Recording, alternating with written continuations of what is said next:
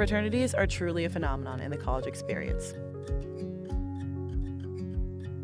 You might be familiar with its culture of drinking, rowdiness, and of course partying all throughout the week, as seen in the 1978 film Animal House. However, times have changed, and an average Wednesday night at Drake University might look a lot different in this house than it did all those years ago.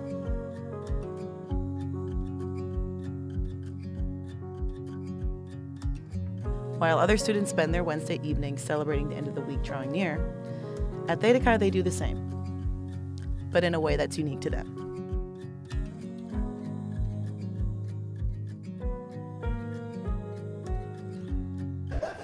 Can we can we talk in purely French? So like right now.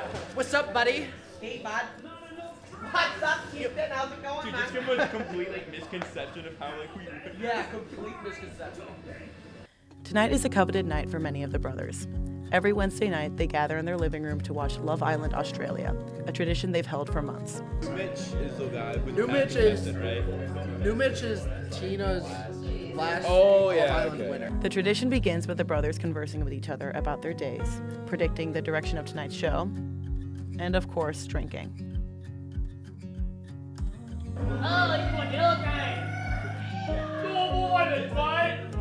When the show starts, the brothers quiet down just enough to hear the show. However, commentary is allowed and even encouraged at times. Dude, that's where the host is like. No, no, she looks like a skeleton. But not everyone enjoys Love Island as much as these boys do. Some are spending the night studying or hanging out in their rooms.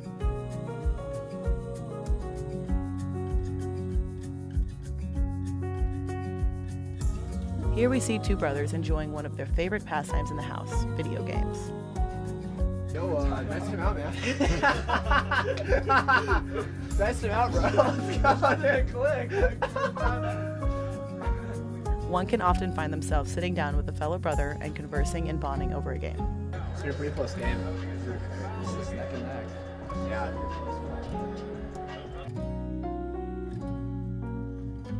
Back in the living room, we see the majority of the brothers have made their way to the local watering holes for the night. Only a couple stragglers remain.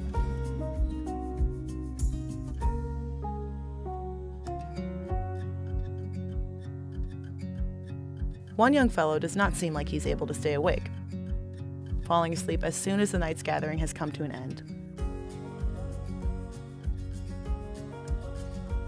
Others continue to enjoy their tasty beverages, while others decide it's time to call it a night.